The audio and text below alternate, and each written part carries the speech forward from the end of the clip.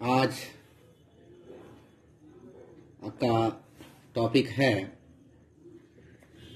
Mounting of scales जैसा कि आप जानते हैं placoid cycloid ctenoid और गेन वाइट स्केल्स होता है। तो इसमें मैंने एक प्रैक्टिकल बताने की कोशिश किया है और उसको उसी ढंग से दूसरा तरफ़ का भी स्केल निकाला जाता है माउंटिंग किया जाता है।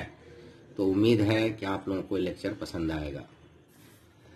M permanent slide preparation of placoid scales of scoliodon placoid scales of scoliodon तो requirements specimen Canada balsam C two H five O H यानी ethyl alcohol K O H solution xylene etcetera इसमें xylene भी होता है slide होगा glass cover cover slip होगा etcetera procedure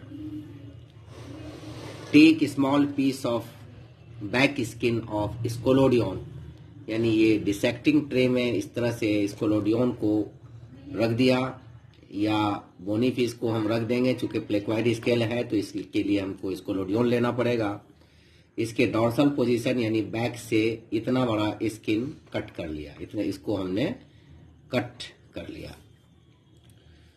इस skin को इस तरह से वॉच ग्लास में रखेंगे, जो कि पानी से भरा हुआ है। ये वॉच ग्लास पानी से भरा हुआ है। ऐसे रखेंगे कि जो अप साइड है, वो डाउन साइड चला जाए। यानी जो मैंने स्किन ऐसे काटा तो ये अप साइड हुआ, ये डाउन साइड हुआ, यानी ये वेंट्रल हुआ, ये डोर्सल हुआ तो डोर्सल नीचे हो जाएगा। इस तरह से हो जाएगा ये स्किन अब वॉच ग्लास में रखा स्कैल्पेल या ब्लेड या किसी चीज़ की मदद से इसको छोटे छोटे टुकड़ों में तोड़ देंगे। ठीक है? इसको छोटे छोटे टुकड़ों में कट करके टेस्ट ट्यूब में डाल देंगे। उस टेस्ट ट्यूब का, जैसे ये टेस्ट ट्यूब है, इस टेस्ट ट्यूब में यहाँ पर छोटे छोटे टुकड़े उस पीस का डाल दिया। अब इसका ये आधा हिस्सा के ओ एच सोल्यूशन से भरेंगे। One percent K O H solution one percent K O H solution one percent K O H solution से इसमें डाल देंगे। उसके बाद टेस्ट ट्यूब होल्डर के ज़रिए इसको पकड़ लेंगे और टेस्ट ट्यूब होल्डर के ज़रिया पकड़ने के बाद इसको गर्म करेंगे। तो होल्डर को पकड़ेंगे तो इस तरह से पकड़ेंगे कि जैसे इसका ये सिरा जो है ये सिरा आ, वो मुख से दूर रहेगा। ठीक टेस्ट ट्यूब होल्डर के ज़रिए। उसको गर्म करेंगे और थोरोली उसको ऐसे ऐसे करके हिलाएँगे। ऐसे ऐसे करके टेस्ट ट्यूब को हिलाएँगे। Shake the test tube material and K O S solution continuously यानी इसके अंदर और जो ये सब है इसको ऐसे ऐसे करके हिलाएँगे और ये मिक्स हो जाएगा। Heat the material till a black residue settles down at the bottom of test tube. यानी इसको उस वक्त तक गर्म करेंगे बीच बीच में थोड़ा हटा लेंगे, फिर गर्म करेंगे, फिर हटा लेंगे, फिर गर्म करेंगे स्प्रिट लैम्प पर, ताकि ये ग्लास का जो है ये फटेगा नहीं। तो ये जो पीसेस है, ये पूरा डिजोल्व हो जाएगा। डिजोल्व होने के बाद इस पे, इस ग्लास टेस्ट ट्यूब में यहाँ पर ब्लैक रेजिड्यू नीचे बैठ जाएगा। उस वक्त तक इसको हम गर्म कर अपने उसके बाद उसको बर्नर से हटा लेंगे। उसके बाद इसको इस तरह से जैसे टेस्ट ट्यूब के ज़रिए जो ऐसे है, धीरे धीरे धीरे धीरे केओएस सॉल्यूशन बाहर निकाल लेंगे।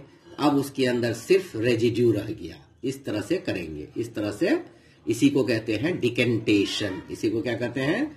डिकेंटेशन तो डिकेंटेशन के ज़रिया उसको निकाल देंगे। अब बच गया उसमें केओएस सॉल्यूशन निकल गया टेस्ट ट्यूब में और उसके बाद उस रेजिड्यू को तीन से चार बार टैप वाटर में धोएँगे। तीन से चार बार टैप वाटर में धोएँगे और उसके बाद ब्रश के ज़रिया उस रेजिड्यू को स्टेनिंग ट्यूब में डाल देंगे। स्टेनिंग ट्यूब में डाल देंगे। Dehydrate residue up to seventy percent alcohol यानी सत्तर परसेंट अल्कोहल मतलब पहले बीस परसेंट तीस परसेंट साठ परसेंट सत्तर परसेंट सौ परसेंट तक उसको हम डिहाइड्रेट करेंगे। उसके बाद उस पूरे मटेरियल को हम दो हिस्से में बांट लेंगे। आधा एक टिश्यू ट्यूब में रखेंगे, जिसमें हम पिक्रो इंडिगो कार्माइन एक इंडिया का स्टेनिंग होता है, उसमें डालेंगे। दूसरे हाफ़ में बोरेक्स कार्माइन डालेंगे। फिर से मैं बोल रहा हूँ, ये बहुत इंपॉर्टेंट पॉइंट है। यानी उसको दो टेस्ट ट्यूब में मैंने बांट लिया इस तरह से।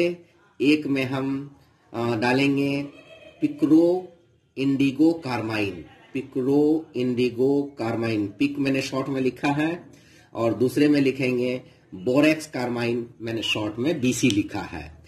तो पिक्रो इंडिगो कार्माइन जो है, ये ब्राइट ब्लू कलर का कलर देगा और एसी दूसरा वाला हाफ़ जिसमें बोरेक्स हम डाले हैं, वो देगा आपका ब्राइट पिंक उसको क्या देगा?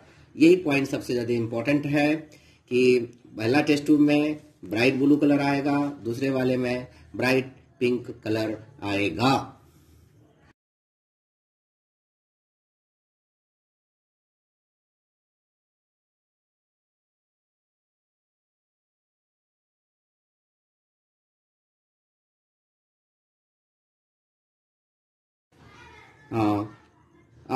जैसा कि पीछे के डायग्राम में दिखाया गया है dehydrate in 90 percent and absolute absolute करते हैं 100 परसेंट अल्कोहल को। 100 परसेंट इथाइल अल्कोहल को एब्सोल्यूट अल्कोहल कहते हैं। उसमें इसको फिर डिहाइड्रेट करेंगे ताकि उसका स्टेनिंग वगैरह जो है कलर जो है, जो एक्सेस कलर है, वो निकल जाएगा। उसके बाद उसके ऊपर जाइलिन डालेंगे जाइलिन से वो ट्रांसपेरेंट हो जाएगा। फिर उसके ऊपर कैनेडा बॉल्जन डालेंगे स्लाइड के ऊपर रखेंगे और उसको हम स्टडी करेंगे। इस तरह से माउंटिंग किया जाता है। सेम मेथड तीन वाइड स्केल के लिए भी है सेम मेथड सेक्लाइड स्केल के लिए भी है। हम आपको एग्ज़ाम में कोई भी दिया जा सकता है।